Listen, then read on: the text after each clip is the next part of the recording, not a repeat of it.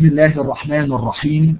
والصلاة والسلام على أشرف المرسلين سيدنا وحبيبنا وشفيعنا محمد صلى الله عليه وعلى آله وأصحابه أجمعين. أما بعد أبنائي وبناتي إخواني وأخواتي طلاب التعليم عن بعد بجامعة الإمام محمد بن سعود الإسلامية.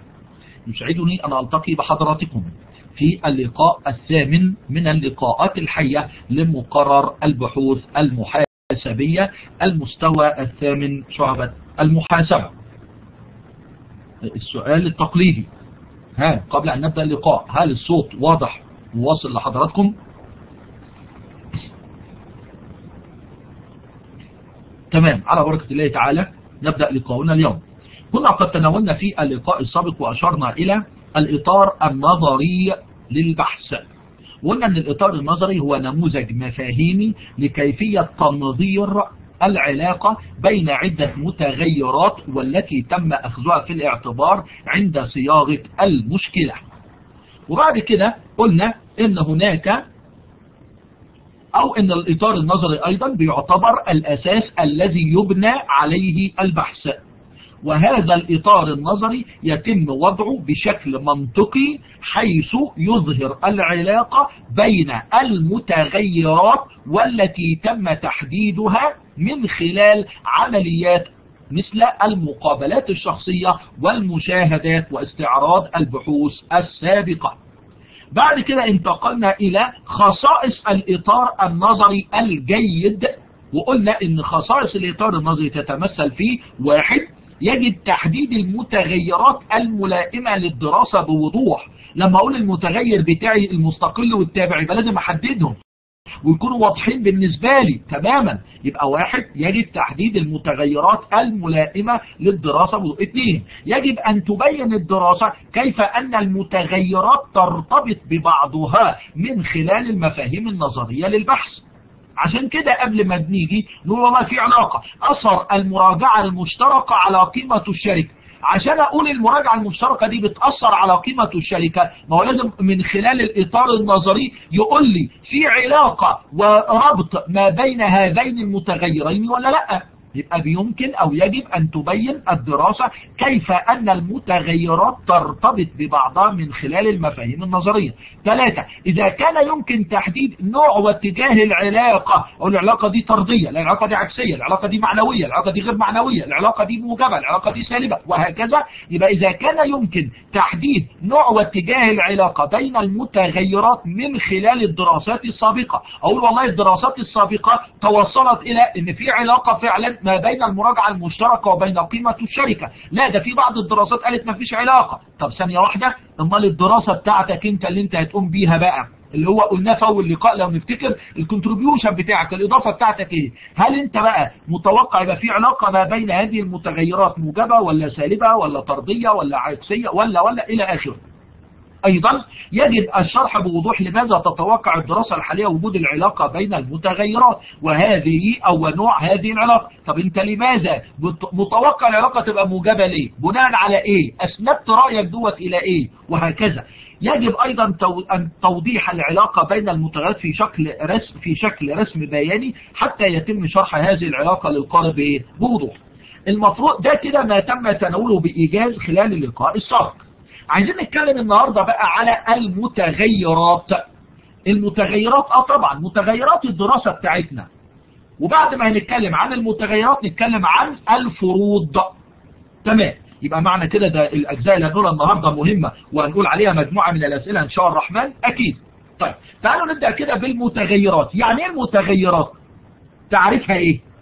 هو قال التعريف بالنسبة للمتغيرات في بداية الفصل لما قال بعد تعريف الإطار النظري في صفحة 62 ها أكتب لكم الصفحة عشان تبقوا متابعين معايا أبنائي وبناتي الأفاضل أو صاد صاد 62 ها قال المتغيرات هي أي شيء يأخذ قيمة؟ أي شيء يأخذ قيمة.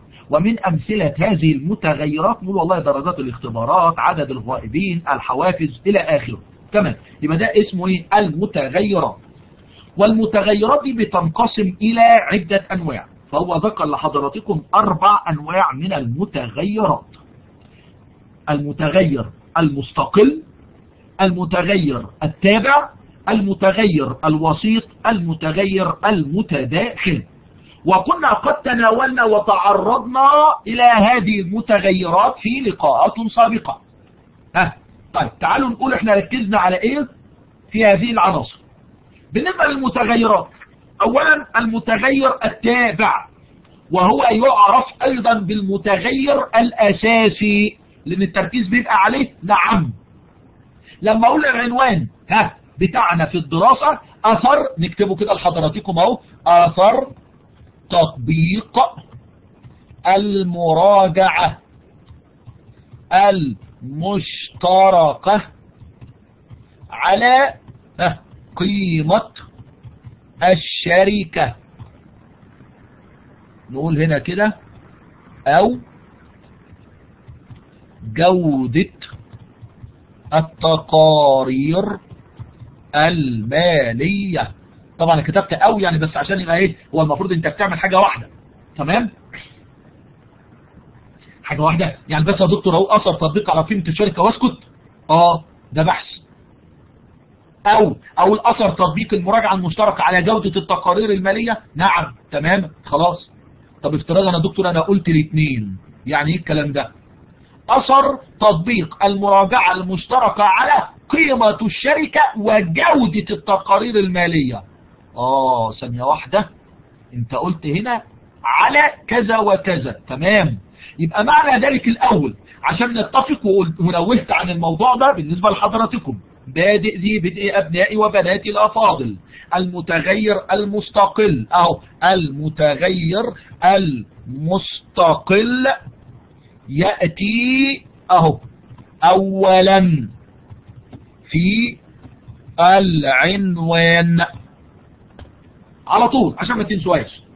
يبقى لما نقول هنا العنوان بتاعنا أثر تطبيق المراجعة المشتركة على قيمة الشركة وجودة التقارير المالية أدلة عملية من بيئة الأعمال السعودية. في ضوء ما سبق فإن المتغير المستقل هو نقطتين وشرط. وانتوا اللي تجاوبوا بقى. ما أنا هديكم اختيارات طبعا. في السؤال ده. وجبته على فكرة في الاختبار. يلا يا ابنائي وبناتي الأفاضل. يبقى هنا المتغير المستقل مين؟ ها ما لك بقى ألف المراجعة المشتركة. ب قيمة الشركة. ج جودة التقارير المالية. د أدلة عملية من بيئة الأعمال السعودية. يبقى هنا الإجابة الصحيحة إيه؟ هتبقى ألف اللي هو المراجعة الإيه؟ المراجعة المشتركة. تمام. يبقى ناخدها بقى أبنائي وبناتي الافاضل زينب ومنى. ها أما نقول المتغير المستقل ها بيجي فين؟ في العنوان. يأتي اولا أمال المتغير التابع اكتبها لحضراتكم برضو المتغير التابع. يأتي بعد كلمة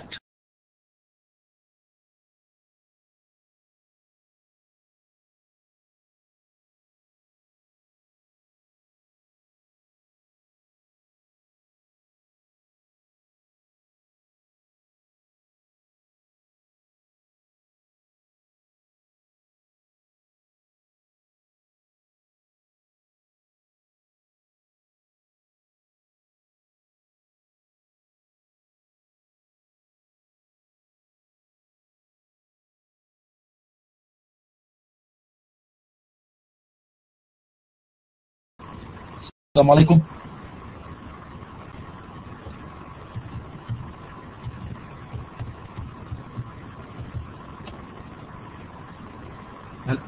وصل الحمد لله. معلش السيستم كان فصل والله. لا حول ولا قوة إلا بالله. مش عاجبه إن إحنا نتكلم في المتغير المستقل والتابع مش عارف ليه. يمكن قرايبه ولا حاجة تقريبا يعني. طيب نرجع تاني يا أبناء وبنات الأفاضل. فيبقى لما نقول العنوان بتاعنا السؤال اللي كنا متوقفين عنده ها. بفرض أنك تقوم بدراسة أو ببحث بعنوان أثر تطبيق المراجعة المشتركة على قيمة الشركة. في ضوء ما سبق فإن المتغير التابع هو ممكن أجيبها في سؤال صح وخطأ مش لازم أجيبها في إيه؟ في اختيار متعدد. هما قال في ضوء ما سبق فإن المتغير التابع هو المراجعة المشتركة. ألف العبارة صحيح ب العبارة خطأ. يبقى هنا الإجابة ها أبناء وبنات ليه؟ لا لا يا من خطأ تاني يا ابنات منى أنا بقول إيه؟ في ضوء ما سبق فإن المتغير التابع. مش المستقل. أنا قلت ابنته زينب مين؟ ها؟ أنا قلت في ضوء ما سبق فإن المتغير التابع هو المراجعة المشتركة. يبقى العبارة خطأ لأن المراجعة المشتركة دي متغير مستقل. ما أنا عارف ما أنا قلت التابع. ما أنا عشان كده يبقى العبارة إيه؟ يبقى العبارة خطأ. يبقى العبارة إيه؟ خطأ. لأن المتغير المستقل هو المتغير التابع ليس المراجعة المشتركة وإنما هو مين؟ وإنما هو قيمة الإيه؟ الشركة. يبقى إذا في النهاية والخلاصة المتغير المستقل يأتي أولا المتغير التابع يأتي ثانيا بعد كلمة على عشان ما ننساش خالص بقى. تمام؟ طيب نقول برضو شرح حواليهم كده بسيط وبإيجاز شديد. يبقى ده مثال واضح جدا وضوح الشمس لكم أبنائي وبناتي الأفاضل وجاي في الاختبار بمشيئة المولى عز وجل. طب مش محتاجين بقى أقول أي عنوان؟ يعني أقول مثلا إيه؟ أثر الإفصاح المحاسبي عن رأس المال الفكري على العائد المالي أو على الأداء المالي للشركة. تاني كده نقول الإيه؟ ها أثر أدي عنوان جه على بالي أثر الإفصاح الإفصاح المحاسبي عن رأس المال الفكري على الأداء المالي والتشغيلي للشركة. ده عنوان اهو ينفع يتعمل رسالة من رسالة دكتوراه أنتوا بقى اللي تقولوا هنا فين المتغير التابع وفين المتغير المستقل؟ ها؟ نقوم قايلين السؤال أقول أنا السؤال. في ضوء ما سبق فإن المتغير المستقل هو أنا بقول اهو ابنتنا زينب المتغير المستقل تمام. اهي منى سبقتني على طول قالت الافصاح المحاسبي عن رأس المال الفكري. لا لازم تكملوا الجملة على فكرة تمام؟ بس أنا فاهمكم أنتوا تقصدوا إيه يعني. لأن المفترض الافصاح المحاسبي عن إيه؟ ما أنا ممكن أخدعكم برضو. إزاي أبنائي وبناتي الافاضل اقوم جايب ألف. الافصاح المحاسبي عن رأس المال الفكري. ب. الافصاح المحاسبي عن المسؤولية الاجتماعية. د. الافصاح المحاسبي عن آه التنمية المستدامة. آه د. آه مثلا قلنا الأداء المالي والتشغيلي للشركة. ما أنا جبت كذا افصاح محاسبي بس هو العنوان بتاعنا افصاح محاسبي عن مين؟ عن رأس المال الفكري. تمام؟ أيوه كده. طيب نفس العبارة أو نفس العنوان. في ضوء ما سبق فإن المتغير التابع هو المتغير التابع هو ها؟ المتغير التابع إيه؟ خلاص بقى إحنا اتفقنا. المتغير التابع يا دكتور ده اللي بيجي بعد كلمة على نشوف العنوان اللي انت بتقول اللي انت لسه ذكرته وكتبته من شوية. انت قلت إيه؟ آه أثر افصاح كذا كذا على الأداء المالي والتشغيلي. أيوه يبقى الأداء المالي والتشغيلي هو المتغير مين؟ هو المتغير التابع. تمام؟ السؤال ده سهل ولا صعب يا أبنائي وبنات الافاضل طيب تمام. على البركة يا رب.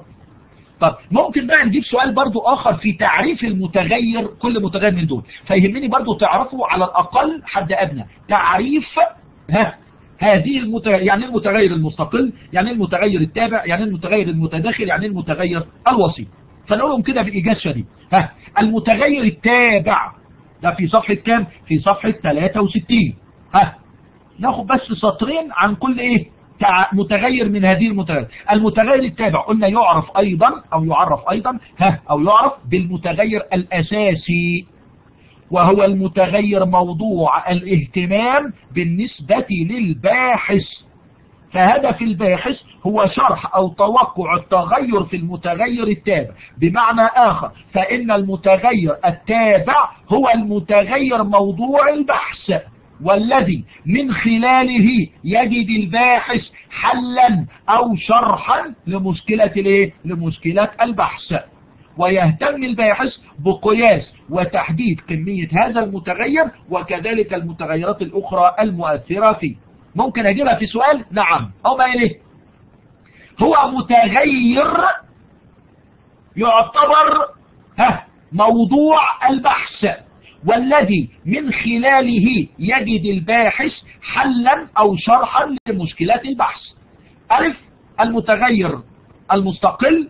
ب المتغير الوسيط. ج المتغير المتداخل. د المتغير التابع. يبقى الإجابة الصحيحة أبنائي وبناتي هتبقى إيه؟ أيوة كده. اللي هو رقم د يبقى المتغير الإيه؟ التابع. يبقى نخلي بالنا من تعريف. تمام؟ طيب. نيجي بعد كده على المتغير المستقل. المتغير المستقل. تعريفه هو المتغير الذي يؤثر على المتغير التابع سواء بقى بيأثر بشكل إيجابي أو بشكل إيه؟ سلبي. لما إحنا قلنا بقى العلاقة بينهم, بينهم ممكن تكون طردية أو عكسية أو موجبة أو سالبة أيا كان. يبقى إذا المتغير المستقل هو المتغير الذي يؤثر على المتغير التابع بشكل سلبي أو إيجابي بحيث أنه بظهور المتغير المستقل والتغير فيه يحدث تغير في المتغير مين؟ في المتغير التابع فنخلي بالنا من تعريف المتغير المستقل لو تكرمتم لأن ممكن نجيبه برضه في سؤال إما صح أو خطأ أو اختيار من إيه؟ أو اختيار من متعدد تمام؟ مش هو بقى الصيغة بقى خلاص إحنا اتعلمناها. ممكن بقى ليه سؤال. نقط نقط. هو المتغير الذي يؤثر على المتغير التابع بشكل سلبي أو إيجابي. ألف. المتغير التابع ب. المتغير المستقل ج. المتغير الوسيط د. المتغير المتداخل. يبقى الإجابة ب. اللي هو المتغير مين؟ المستقل. طيب. نيجي الصفحة اللي بعدها. تعريف المتغير مين؟ الوسيط. المتغير الوسيط هو المتغير الذي له تأثير شرطي على العلاقة بين المتغير التابع والمتغير الإيه؟ المستقل. يبقى تاني المتغير الوسيط هو المتغير الذي له تأثير شرطي على العلاقة بين المتغير التابع والمتغير الإيه؟ المستقل. بمعنى أن ظهور المتغير الثالث اللي هو المتغير الوسيط يؤدي إلى تعديل العلاقة الأصلية المتوقعة بين المتغير التابع والمتغير الإيه؟ المستقل. فنخلي بالنا من تعريفه عشان ممكن نجيبه في سؤال. طبعا موضح وعامل رسم عندكم كده بشكل بسيط يقول لك إيه؟ الفاعلية التنظيمية وعندنا تنوع العاملين. فتنوع العاملين ده بيؤثر في الفاعلية التنظيمية ولا لأ؟ طب ده متغير مستقل وده تابع. من خلال مين؟ المتغير الوسيط اللي هو الخبرة الإيه؟ الإدارية. نيجي بعد كده في صفحة 66 ها تعريف المتغير المتداخل. هو المتغير الذي يظهر خلال الفترة من اللحظة التي يعمل فيها المتغير المستقل للتأثير على المتغير التابع ووقت التأثير الفعلي لهذا المتغير المستقل على المتغير الإيه؟ التابع. وبالتالي هناك فترة زمنية لكي يعمل المتغير المتداخل ويعمل هذا المتغير على شرح تأثير المتغير المستقل على المتغير التابع. طيب في النهاية برضو عشان أكون أمين مع حضراتكم وتفهموها برضو بإيجاز شديد كده دايما وإحنا بنعمل الأبحاث بتاعتنا أبحاث الترفيه للأستاذ مشارك وأستاذية وحتى في رسائل الماجستير والدكتوراه. بيتم تقسيم هذه المتغيرات أبنائي وبناتي الأفاضل اللي يهمني بقى تعرفوه فعلا حقيقي في واقع الحالة العملية ثلاث أنواع من المتغيرات. هكتبهم لكم أهو عشان ما تنسوهمش. أعتقد مش عارف أنا كتبتهم قبل كده ولا لأ. ها كنا بنقوم مقسمينها كده. أول حاجة على طول لازم نقوم كاتبين كده. المتغير التابع لأن ده الرئيسي بتاعنا. جنبها كده المتغير المستقل. شرطة المتغيرات الرقابية أو يقولوا عليها أحيانا الضابطة أو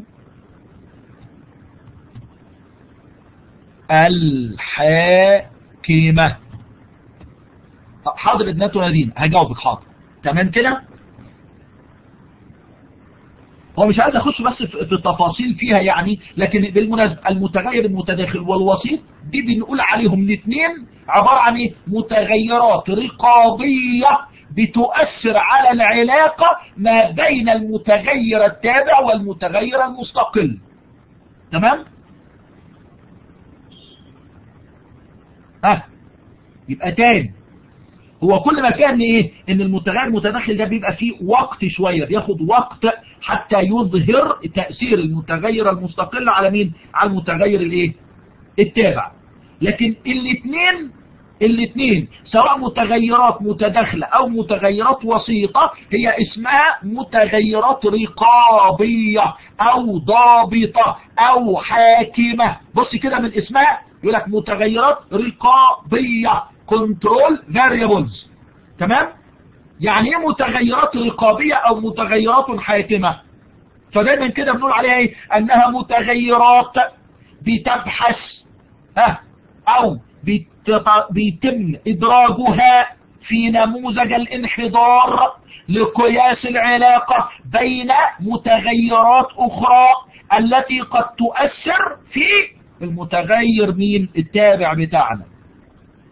فهذه المتغيرات دي إحنا بنحطها لضبط العلاقة لضبط العلاقة ما بين المتغير التابع والمتغير المستقل. يعني إيه أبنائي وبناتي الأفاضل؟ عشان تفهموها أكتر بمثال عملي.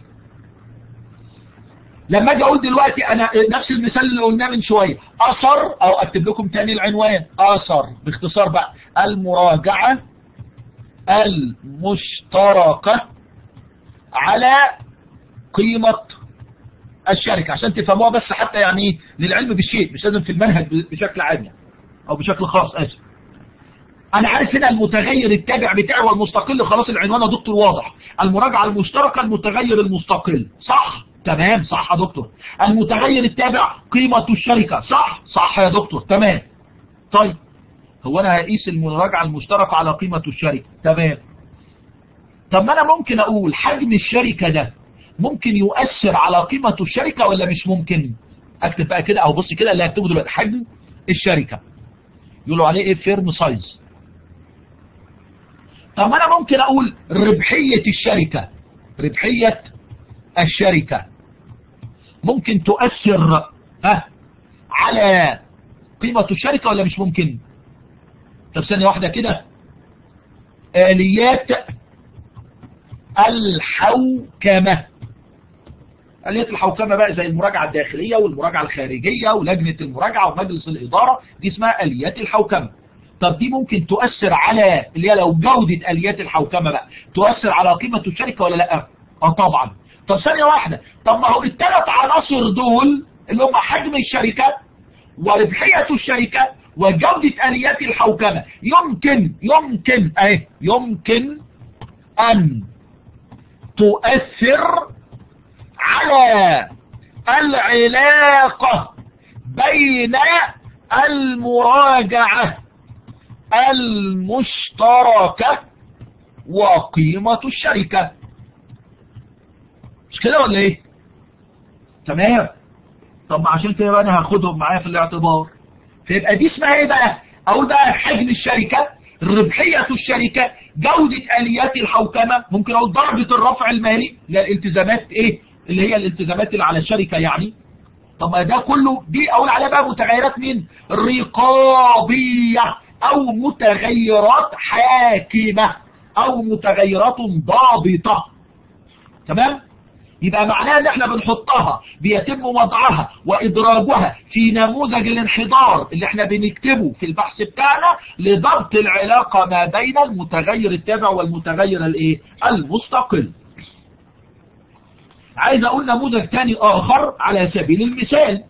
ها البحث اللي أنا أرسلته لحضراتكم اللي هو بعنوان أثر هيكل الملكية وخصائص لجان المراجعة على مستوى التحفظ المحاسبي بالتقارير المالية دراسة تطبيقية على الشركات المسجلة بالبورصة السعودية. خلاص مش هقعد أتكلم بقى في قصة المتغير التابع والمستقل. خلاص عرفناه. لو جينا نقول العنوان بتاعنا ده وأنا أرسلت لحضراتكم البحث قبل ذلك وقلت للاسترشاد بس. ثانية واحدة دكتور أنت بتقول أثر مين؟ هيكل الملكية وخصائص لجان المراجعة. قال لا ده يبقى المتغير المستقل هنا عبارة عن إيه؟ عن حاجتين مش حاجة واحدة بس. عبارة عن هي... نمط هيكل الملكية والتاني خصائص لجان مين؟ المراجعة. تمام؟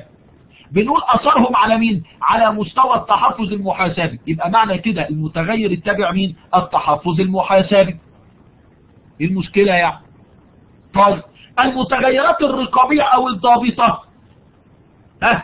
بتشتمل المتغيرات الرقابية أو الضابطة قلنا بتشمل مين؟ بعض العوامل المؤثرة على المتغير التابع ولكنها لا تدخل في نطاق الدراسة محل البحث وبيتم إضافتها من أجل ضبط العلاقة ما بين المتغير المستقل والمتغير التابع. زي إيه مثلا؟ والله قلت حجم الشركة. الرفع المالي. نوع النشاط. الشركة ديت ذات طابع صناعي ولا وتستخدم مستوى تكنولوجي عالي ولا لأ؟ ممكن أقول العائد على الأصول أو ربحية الشركة يعني. نوع مكتب المراجعة. يبقى دي اسمها متغيرات. أنا بقولها من عندي أنا كباحث. طب سنة واحدة يا دكتور. طب افتراضا دينا مثلا أو منى ها أو هديل جت تعمل بحث فهتاخد متغيرات رقابية أخرى بخلاف اللي أنت قلتها. تمام؟ إيه المشكلة؟ مفيش مشكلة خالص. ينفع؟ ينفع ويجوز. تمام؟ يبقى في النهاية عايزكم تفهموا بقى القصة بتاع المتغيرات ديت ابنائي وبناتي الافاضل ها؟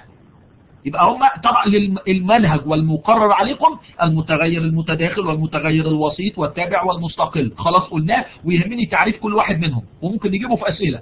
لا عايزكم بقى تفهموا في واقع الحالة العملية لو جيتوا تعملوا بحث. بتتقسم إلى متغير تابع متغير مستقل متغيرات رقابية أو ضابطة. تمام؟ مفهوم الجزئية دي ابنائي وبناتي ولا لأ؟ طبعا المفترض بنيجي نعمل بعد كده إيه؟ حاجة اسمها نموذج الدراسة. نموذج الدراسة. وأنا أرسلت لحضراتكم البحث قلت للاسترشاد والله للفهم. مش هجيبه في الاختبار. مش هقول لكم نموذج الانحدار بنعمله إزاي. بس دايما بنعمله كده ها يجوا ما إيه؟ أنا بقول أثر هيكل الملكية على مستوى التحفظ المحاسبي. تمام. التحفظ المحاسبي ده بيتم استخدامه أو قياسه إزاي؟ ده في الفصل القادم بقى الفصل الخامس اللي هو قياس المتغيرات. فبستخدمه والله مثلا باستخدام نموذج معين اللي هو عبارة عن في لأن في عدة طرق لقياس مين؟ هذا التحفظ أو هذا المتغير اللي هو التحفظ المحاسبي فبقول والله أنا هقيسه. من خلال مثلا نموذج اسمه إيه؟ نموذج القيمة السوقية إلى القيمة الدفترية لحقوق الملكية. market to book ratio اللي هي MTB. دي خلاص ده نموذج معين. ده والله اللي قدم هذا النموذج وبقول اسم العالم اللي هو الدراسة بتاعته Beaver and Ryan إيه سنة 2000 لازم أكتب الكلام. طب تمام.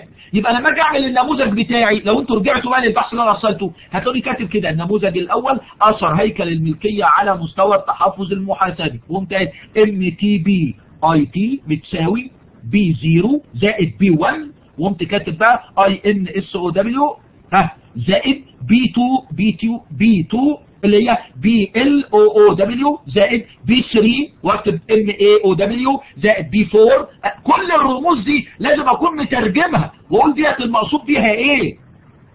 فالمفترض الملكية الأولية اسمها ملكية مؤسسية ملكية كبار المستثمرين ملكية إدارية ملكية عائلية ملكية مشتتة. يبقى دي نمط هيكل الملكية اللي أنا باخده في النموذج بتاعي. وبعد كده بعد ما بخلص وما كاتب بقى إيه؟ زائد B 6 F size يعني firm size زائد B 7 LEV اللي هو درجة الرفع المالي زائد بي 8 اي ان دي يو اس يعني industry أو ماشي كده؟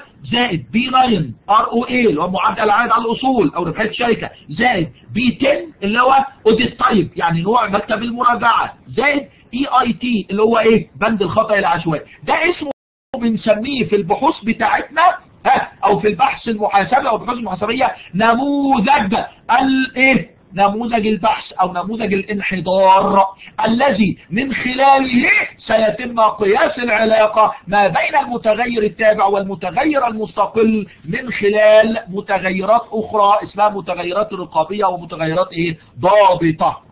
مش عايز بقى اطير على حضراتكم في هذه الجزئية لكن اللي يهمني أبنائي وبناتي الافاضل تعرفوه يعني إيه بقى متغير تابع؟ يعني إيه متغير مستقل؟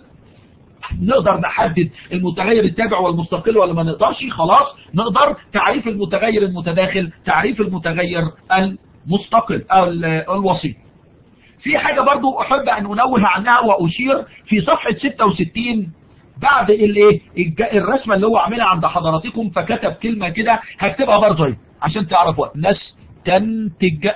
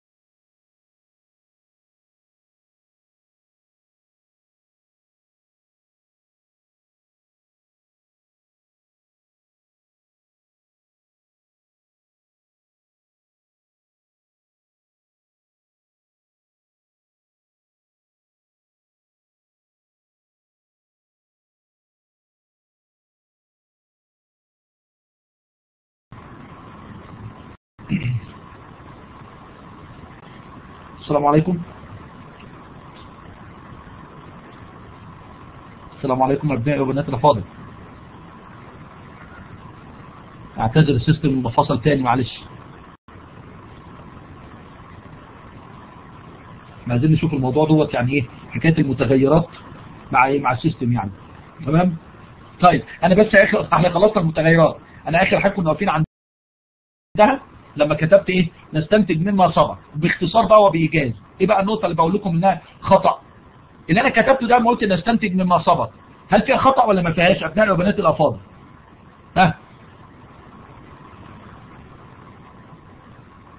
هل يوجد فيها خطأ أم لا؟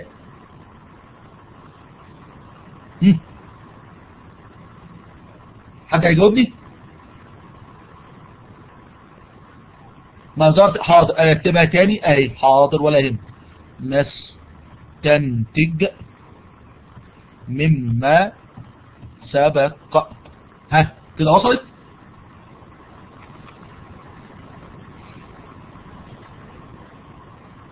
ما فيها خطأ. تمام. هي دي موجودة عندكم في صفحة 66 عشان بس في الصورة يعني. مش كده؟ طيب. واضحة كمان قالت خطأ. طب الخطأ فين؟ ها؟ نايف قال ما فيهاش خطأ. وسارة قالت آه يعني اي ما فيهاش خطأ. ها؟ من ما؟ آه انت قلت إيه؟ يعني نستنتج من ما؟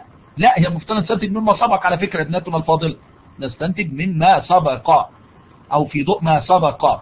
من ما؟ طيب أنتوا ركزتوا عليها كناحية لغوية من ما. نبقى نسأل فيها برضه ونعرف بس هي صح نستنتج مما سبق عادي يعني مما سبق. مفيش مشكلة. تمام؟ لكن الفرق بقى اللي أنا كنت عايزكم تركزوا عليه برضه. أهي بصي كده. نستنتج. أهي أركز عليها بقى لما ألاقي نايف ابننا نايف عشان مش هيزعل مني لما أتكلم عنه شوية يعني. لما ألاقي نايف يقول لي نستنتج مما سبق. أقول لك ثانية واحدة استنى مين اللي مين اللي نستنتج دول؟ يعني يا دكتور. ما هو كلمة نستنتج. النون هنا النون نستنتج. ها نيجي نكتب كده. ونرى أنه يجب. فيجي الأستاذ المشرف عليك يقول لك مين يا ابني ونرى دول؟ مين دول اللي يروا؟ أنت بتقول ونرى أنه ونرى. إيه ونرى أنه دي يعني؟ مين و... مين مين نرى دول؟ يعني يا دكتور عايز تقول لي الخلاصة يعني؟ يا ابن الحياة دايما نتعلم بقى يقول لك إيه؟ من مقومات الباحث العلمي التواضع. التواضع التواضع. ويقول لك كده وفوق كل ذي علم عليم. يعني إيه التواضع؟ يعني ما تيجي تقول نستنتج النون هنا معناها حاجة من الاثنين إما إما الجمع أو التعظيم. إما الجمع أو التعظيم آه طبعا. ها؟ لما أجي أحمد حامد كده الدكتور أحمد حامد يجي يكتب في البحث بتاعه يقول لك إيه؟ ونحن نرى. ونحن نرى. مين عم الدكتور ونحن نرى دي؟ آه أنت هنا قلت الجمع؟ ما مريم بتقول الجمع. طب هو الجمع ده هو أنت قايل البحث ده أنت لوحدك ولا في مجموعة يعني معاك؟ حتى لو في مجموعة ما تكتبش ونرى. ما تكتبش ونستنتج. لأن هنا ممكن معناه التعظيم وهذا يجب ألا يتصف به الباحث. امال يا دكتور يكتب إيه يعني؟ أهو كاتب كده. وي... بص كده. ويرى الباحث. أكتب مثلا ويرى الباحثون. أو الباحثين على حسب بقى صيغه الجملة يعني. يبقى معناها إن أنت بتقول إيه؟ آه مفيش كلمة النون دي. النون دي ما تحطهاش نهائيا. لا يجب أن يستخدمها الباحث عند إعداده بحث علمي لأن هذه النون تعني التعظيم وهذا مرفوض لأن من صفات الباحث التواضع. وبالتالي أبنائي بس حبيت أنوه عنها علشان تبقوا عارفينها بالمناسبة يعني. فيبقى معناها آه زي ما تقول لك أنت هتعقدنا في البحث العلمي ده أنتوا عالم بقى فاضية وهتقعد تركز على النون والضمة والكسرة والفتحة. آه طبعا. ما نقعد نقول الكسرة والفتحة؟ ها؟ ما, ما ينفعش في في البحث باللغة هو ينفع في ال grammar مثلا لو باللغة الإنجليزية. ها؟ أنا بتكلم عن نفسي مثلا يبقى شخص. أقول has ولا have ولا إيه بالظبط يعني؟ أقول we ولا أقول I am يبقى معناها إن أنت إيه؟ في قواعد أساسية في اللغة العربية أو في اللغة الإنجليزية يجب أن تكون على ايمان بها. الباحث لازم يكون ملم بيها. ما ينفعش. عشان كده ده دور المشرف يعني. لأن أستاذي قالها لي في الماجستير على فكرة. تمام؟ بس يا دكتور دي في البلاغة ما في القواعد. خلاص يا منى ما فيش مشكلة. برضه في البلاغة يبقى لازم يكون في بعض الإلمام بيها. تمام؟ في النهاية هي نواحي موضوعية مهمة يجب إن أنت تكون على الأقل ملم بيها وعارفها. آه. عشان كده لما أنا أشرت قبل كده قلت إيه؟ ها بعد ما تشتغل في البحث بتاعك بمنتهى البساطة لو أنا ممكن أكون أنا كأنا كأحمد حامد ممكن أكون مش ملم بالقواعد كلها يعني في منتهى البساطة خلي أستاذ زميل ليا متخصص في اللغة العربية يراجع البحث بتاعي. وفعلا بأمانة أنا بقولها والحلقات مسجلة ما بخجلش من كده يعني. ممكن حاجة من الاثنين يقول لي والله أنا هاخد أتعابي يعني أنا هراجع لك البحث ده هاخد مثلا 500 ريال. خلاص إيه المشكلة يعني؟ حقه؟ آه حقه. راجل اشتغل وتعب وراجع للبحث. اتفضل يا دكتور متشكرين. جزاك الله خير. مفيش مشكلة خالص. والله ممكن يكون صديقي ليا وحبيبي مثلا. والله لا يعملها لي خدمة مثلا. خلاص okay. جزاه الله خيرا برضه يعني. بس ما ينفعش برضه نايف يعني أعزمه حتى ولو على كاس شاي ولا فنجان قهوة يعني. يعني أقصد الأمور بسيطة وميسرة تماما. ما فيهاش أدنى مشكلة خالص يعني. عشان كده دايما كان أستاذ أنا فاكر كده في الماجستير الاستاذ الكبير البروفيسور يعني بعد ما خلاص قال لي ها الرسالة فيها أي حاجة قبل ما أخدها؟ راجعتها كويس. لأن هو عايز فعلا لما يجي يراجع الرسالة بتاعتي يخلي مجهوده كله يبقى إيه؟ يتركز على الجوانب العلمية.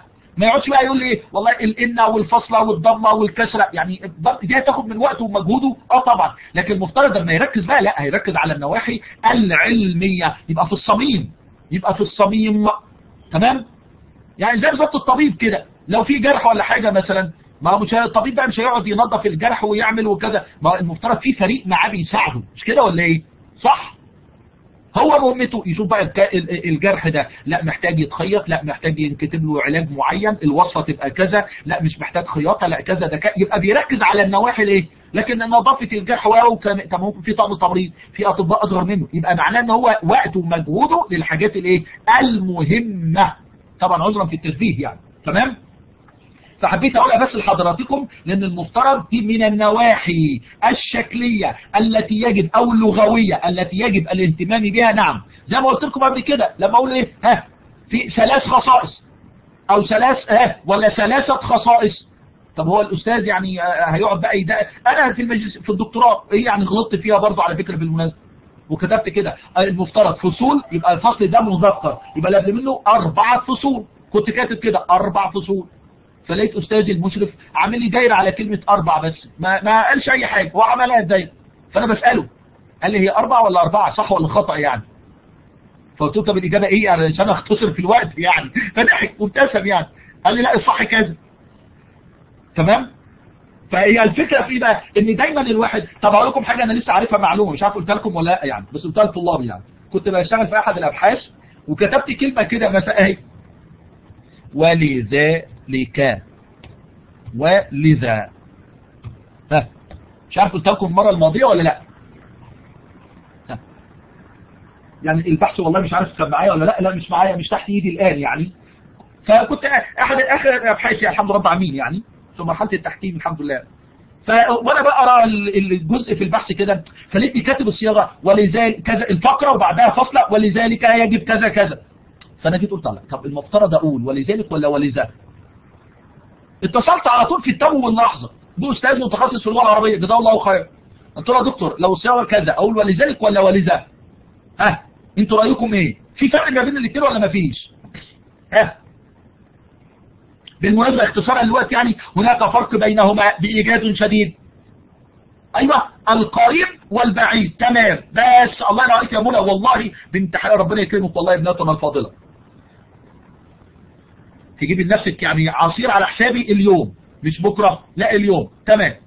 كلمة ولذلك يبقى دي بتعني إيه؟ آه في البعيد أنت بتبص لقدام لسه شوية. يعني آه ممكن يبقى في فترة طويلة شوية. ولذلك يجب على ابنتنا منى إنها تعمل كذا وكذا وكذا وكذا. خلاص هتعمل الكلام ده بس بعد أسبوع أسبوعين يعني ما فيش مشكلة خالص يعني أو بعد شهر. إنما بقول إيه؟ ولذا على منى أنها تعمل كذا وكذا يبقى إيه؟ تعمله في القريب المفترض خلال يوم أو اتنين تكون منفذة هذا الكلام. يبقى كلمة ولذلك بتعني البعيد. أما ولذا فتعني إيه؟ القريب. فيها مشكلة إن إحنا اتعلمناها في اللغة العربية؟ اتعلمت منه قاعدة ومشكلين يا دكتور وجزاك الله خير. مش كده ولا إيه؟ غرمت مكالمة تليفون خلاص مش مشكلة يعني نعديها يعني. الريال ولا ريالين يعني بس راجل افادنا يعني جزاه الله خيرا يعني. طيب. بعد ذلك ها مفهوم الكلام اللي بقوله ولا صعب يا ابنائي وبناتي الافاضل أنا عشان المتغيرات بقى ما اقعدش اخش فيها كتير بس يعني إيه خلاص أنتوا فهمتوا بقى بعض القواعد والقواعد اللغوية كمان اللي بنقول عشان عايزين ننتقل إلى جزئية ثانية مهمة وجاية في الاختبار إن شاء الرحمن اللي هي برضو الفروض. الفروض. طيب. نيجي الأول نقول يعني إيه استنتاج الفروض؟ طبعا المفترض إن الإطار النظري والدراسات السابقة وبعد عرض مشكلة البحث بيقوم الباحث بيبقى باستنتاج الفروض. يعني إيه استنتاج الفروض أو الفرض؟ يعني تعريف الفرض إيه؟ الفروض بتاعتنا دي تعريف الفرض بشكل عام إيه؟ ها؟ الفرض بشكل عام هو عبارة يهمني بقى تعريف ابنائي وبناتي الأفاضل. ها؟ تعريف الفرض. في صفحة كام؟ في صفحة 68 في صفحة 68 قال تعريف الفرض بإيجاز عشان ما نطولش بقى. ها الفرض هو عبارة عن توقعات علمية أو الفروض. هي عبارة عن توقعات علمية حول حل المشكلة موضوع البحث. ويعرف الفرد بأنه علاقة منطقية بين متغيرين أو أكثر. يعبر عنه الياء هنا نحط عليها ضمة يعبر عنه في شكل عبارات قابلة للاختبار وهذه العلاقة مبنية على أساس الإطار النظري للبحث. يبقى تاني؟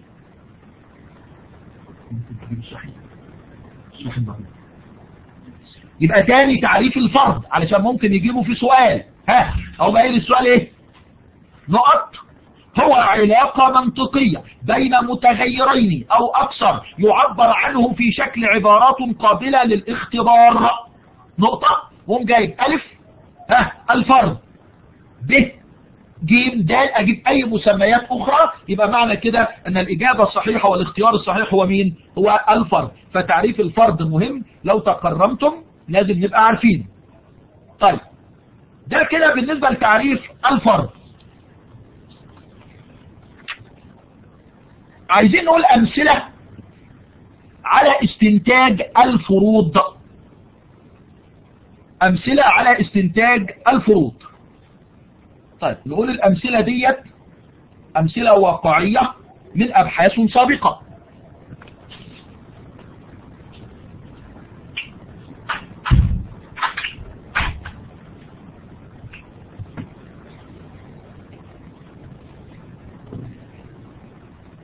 طيب لما نيجي البحث اللي أنا أرسلته لحضراتكم عشان يبقى اللي أنا بتكلم مش هقول أبحاث غريبة لا ده بحث سبق إرساله لحضراتكم. اللي هو مدى إفصاح شركات المساهمة السعودية عن ممارسات التنمية المستدامة في تقاريرها المالية. قمت قايل دراسة ميدانية. المفترض ها لما جيت اصيغ فروض الدراسة فروض الدراسة الفروض دي كانت عبارة عن كم فرد؟ ممكن يبقوا اثنين أو ثلاثة ايا كان وممكن البحث كله يبقى فرد واحد مفيش مشكلة. طيب وانت قايل إيه؟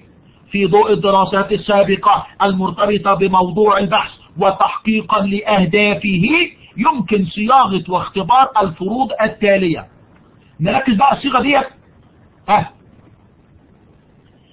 توجد فروق ذات دلالة إحصائية. كان كده توجد أهي توجد فروق ذات دلالة إحصائية بين آراء كفاية الصيغة بس لحد كده. توجد فروق ذات دلالة إحصائية. ممكن أقول الصيغة بشكل آخر. إيه هو؟ لا توجد فروق ذات دلالة إحصائية. إيه ده بقى يا دكتور؟ أنت هتلخبطنا ليه؟ أنت في البحث بتاعك قلت توجد فروق. طيب تمام إيه المشكلة؟ طب أنا ممكن أصيغها بشكل آخر. أقول إيه؟ لا توجد فروق. طب أنت يا دكتور دلوقتي هتصيغ أنهي صيغة فيهم الأفضل؟ مفيش حاجة اسمها أنهي صيغة فيهم الأفضل. أمال إيه؟ هناك حاجة اسمها فرض العدم والفرض البديل. أكتب لكم بقى لأن ده مقرر عليكم أهو. فرض العدم بشرطة كده الفرض البديل. أنت يا عم الدكتور أحمد هتستخدم اي صيغه عند صياغة الفروض بتاعتك. هتصيغها في شكل فرض العدم ولا في صيغة الفرض البديل؟ فزينب بتقول لي يعني يا دكتور لو أنا حبيت أقول أي صيغة منهم مفيش مشكلة؟ آه عادي مفيش مشكلة خالص.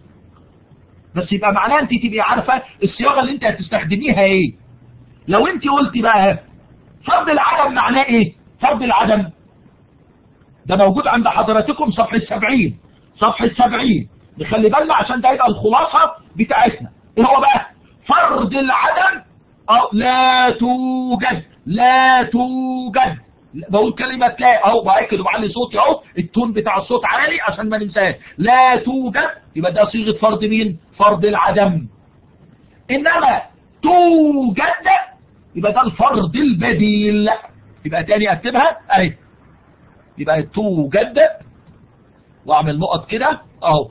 فرض بديل. لا توجد يبقى ده كده إيه؟ فرض الايه؟ فرض العدم. بالمناسبة فرض العدم يرمز له بالرمز H zero نعملها كده ساعدتكم اهو. ادي كده H zero ده كده يبقى فرض نكتبه بالعربي أو فرض العدم. ونعملها كده جنبها كده اهو H zero يبقى فرض العدم يرمز بالله يرمز له بالرمز H zero أما الفرض البديل فيرمز له بالرمز اتش 1 أو اتش اي الفرض نكتبها بقى تاني أهو الفرض البديل يرمز له بالرمز اتش 1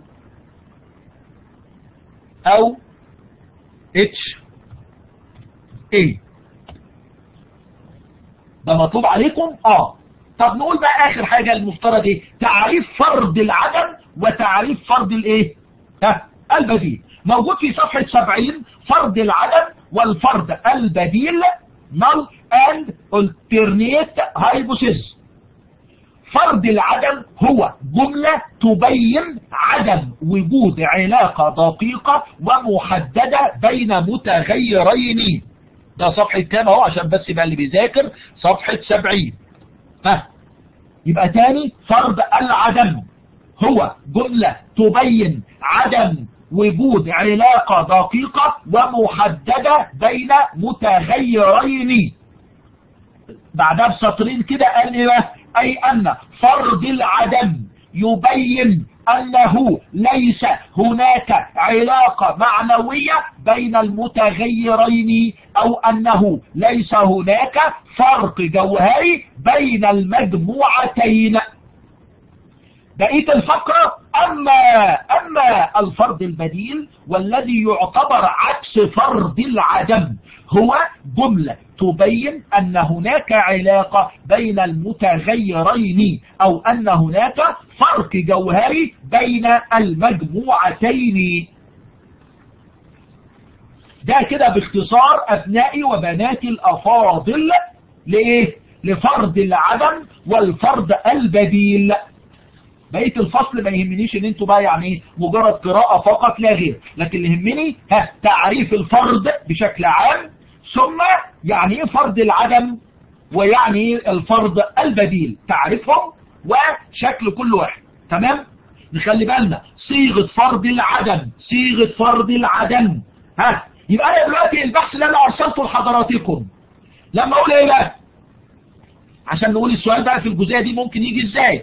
بفرض أنك تقوم ببحث بعنوان مدى إفصاح شركات المساهمة السعودية عن ممارسات التنمية المستدامة في تقاريرها المالية في ضوء ما سبق بيمكن صياغة صياغة الفرض البديل الفرض البديل بالشكل التالي طبعا المفروض إن أنتوا تكونوا مذاكرين وعارفين. فرض بديل يعني إيه يبقى توجد إنما فرض العدم لا توجد. هو طلب مني في السؤال إيه؟ صيغة فرض مين؟ الفرض البديل. الفرض البديل. وما لما؟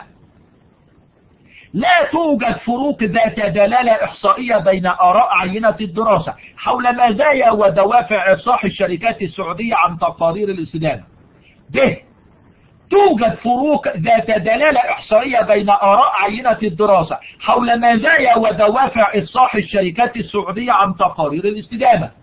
ج لا توجد فروق ذات دلالة إحصائية بين آراء عينة الدراسة حول تحديات ومعوقات الإفصاح المحاسبي عن تقارير الاستدامة في الشركات السعودية.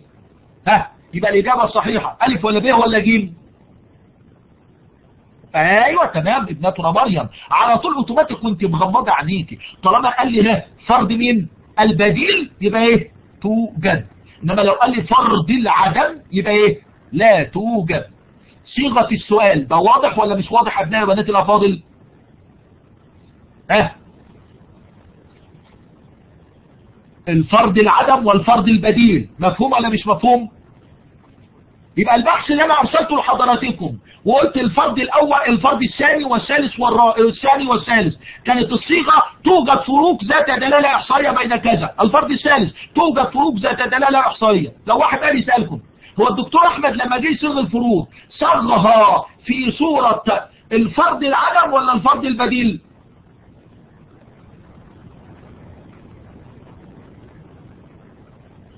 أيوه تمام. ابنتنا منى يبقى صاغها في صورة إيه؟ الفرض البديل بالمناسبة والله جت على بالي يعني جزاه الله خيرا أستاذنا الفاضل يعني واحد الأساتذة في الوطن العربي كله من أعلام المحاسبة في الوطن العربي. وكان أستاذ هنا في المملكة فترة طويلة يعني ونحسبه على خير يعني ربنا يديله الصحة. في أما جينا في الدكتوراه أول سؤال سأله لي قبل ما يسألني في العنوان. بعد ما ألقى التحية كده على الحاضرين وعليا قال لي أه أستاذ أحمد. قلت له نعم يا دكتور. قال لي هو أنت في رسالة الدكتوراه استخدمت صيغة فرض العدم ولا الفرض البديل؟ طبعا لو لو أنا مش عارف الفرق بقى بين فرض العدم والفرض البديل يبقى مش عارف أجاوب. مش كده ولا إيه؟ أول سؤال. أنا اتذكر فعلا والله جه على بالي الآن يعني. يبقى معناه إن فعلا مهم الكلام ده؟ آه. طبعا أنا بس كنت عايز أشير لحاجة برضو معلش هاخد يعني إذا سمحتوا لي دقيقتين حتى مش خارج المنهج. لأن الموضوع ده مهم وبيحصل مشكلة كبيرة ولبس عند الباحثين. إيه هو بقى؟ طب أكتبها لكم عشان ده أنا سؤال جبته سؤال بصراحة. أهو. سؤال صح أو خطأ. لا يوجد فرق بين الفرضيات أو فرضيات البحث نكتبها لا نكتبها كده بقى أهو. لا عادي. الفرضيات وخلاص نختصر عشان الوقت يعني. الفرضيات وطبعا نكتبها كده بالإنجليزي اللي هي hypotheses وفي مصطلح تاني اللي هو إيه؟ والافتراضات اللي هي ال assumption يعني كده؟ لا يوجد فرق بين الفرضيات والافتراضات تمام؟ ها. ألف العبارة صحيحة ب العبارة خطأ. يبقى العبارة إيه؟ العبارة خطأ. طبعا أولا دي الفرضيات اللي اسمها إيه؟ هايبوسيس افتراضات اسمها إيه بالمصطلح الإنجليزي؟ assumptions. عشان بس لو أنا جبت السؤال وفي مصطلح بالعربي ولا بالإنجليزي. تمام؟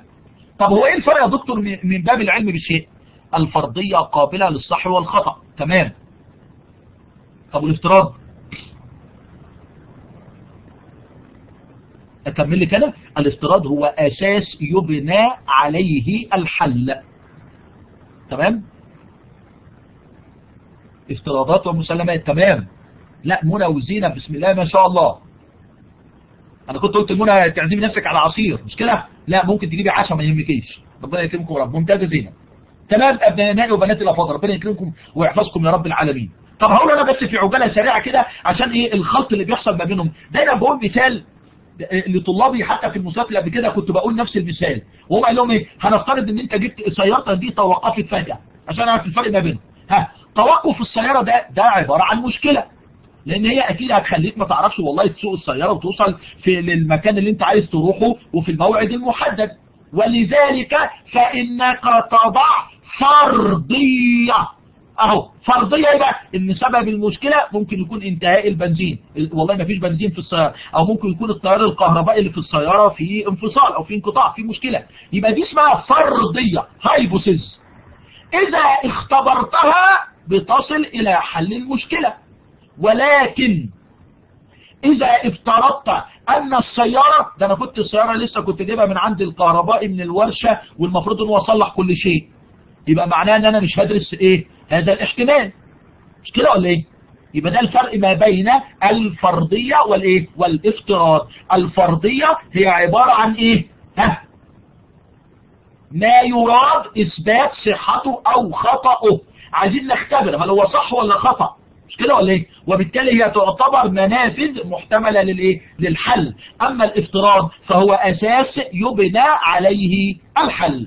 فبس يهمني إن أنتوا تعرفوا عشان ده سؤال برضو ممكن نجيبه انه قايلين إيه؟ لا يوجد فرق ما بين الفرض والفرضية أو الافتراض العبارة خطأ لأن هناك فرق ما بين الهايبوثيز والإيه؟ والأسامبشن. طبعا أكيد برضو هناك فرض العدم والفرض الإيه؟ البديل. آخر حاجة نقولها ونختم بيها نقولها برضو في صيغة سؤال إذا تم إذا تم قبول. إحنا طبعا قبل ما أقول السؤال فرض العدم عكسه الفرض البديل. فرض العدم عكسه الفرض البديل. وبالتالي إذا إذا الصيغه بقى إذا تم قبول فروض العدم فإن الفروض البديلة. ونقط. لو أنا قبلت في البحث بتاعي توصلت إلى أنه تم قبول فروض العدم. يبقى الفروض البديلة تقبل ولا ترفض؟ انت قلت يا دكتور الاثنين عكس بعض خلاص. يبقى لو قبلت فرض العدم يبقى معناه ترفض الفرض البديل. ولو رفضت الفرض العدم يبقى تقبل الفرض البديل. يبقى الإجابة بتاعتنا إيه؟ إذا تم قبول فروض العدم فإن الفروض البديلة ألف. تقبل ب. ترفض ج تقبل وترفض في آن واحد. إيه تقبل وترفض في آن واحد دي؟ يبقى الإجابة صحيحة زينب كتبتها ومناية يبقى الإجابة صحيحة ترفض. تمام؟ واضح؟ ممكن نجيبها صح أو خطأ. إذا تم قبول فرض العدم فإن الفرض البديل ها يتم قبوله أيضا. ألف العبارة صحيح. ب العبارة خطأ. يبقى الإجابة العبارة خطأ. لأن الاثنين يتقبلوا. لا طبعا. إذا قبلت فرض العدم يبقى بيتم رفض الفروض البديلة. وإذا رفضت فرض العدم يتم قبول الفروض الايه البديلة. أي العكس بالعكس. يبقى هنا كده الاثنين إيه؟ أي العكس بالعكس. عشان وأنتم بتذاكروا بس تبقوا فاكرين تمام؟ ده كده بإيجاز شديد أبنائي وبناتي الأفاضل لفروض الإيه لفروض البحث. طبعا كنت عايز بقى أتكلم والله كنت محضر لكم حاجات من خارج الكتاب بس مش عايز إيه أقولها بصراحة بإيجاز شديد كده. كنت عايز أقول بقى تعريف الفرضيات وشروط صياغة الفرضيات بالمناسبة يعني وأنواع الفرضيات أصلا. ممكن نقسمها إلى فرضيات حاجة اسمها فرضيات موجهة وفرضية غير موجهة وفرضيات إحصائية وفرضية البديلة واختبار الفرضيات بيتم إزاي يعني إلى حد ما كده يعني. بس ده كله خارج المقرر فمش هقوله بقى خلاص. نكتفي بهذا الايه بهذا القدر. أعتقد كده النهاردة يعني العملية كانت مبسطة وفي ذات الوقت يعني قلنا برضو مجموعة من الأسئلة المهمة جدا جدا جدا أبنائي وبناتي الأفاضل.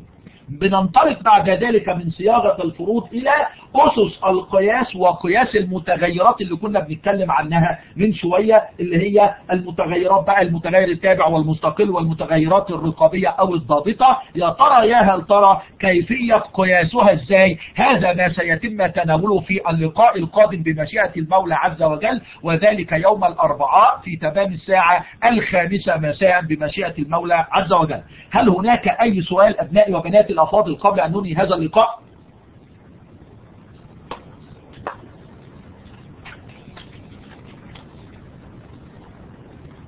ربنا يكرمكم جزاكم الله خيرا. إلى أن نلتقي بحضراتكم في اللقاء القادم. أترككم في رعاية الله وأمنه. دمتم في أمان الله. والسلام عليكم ورحمة الله وبركاته.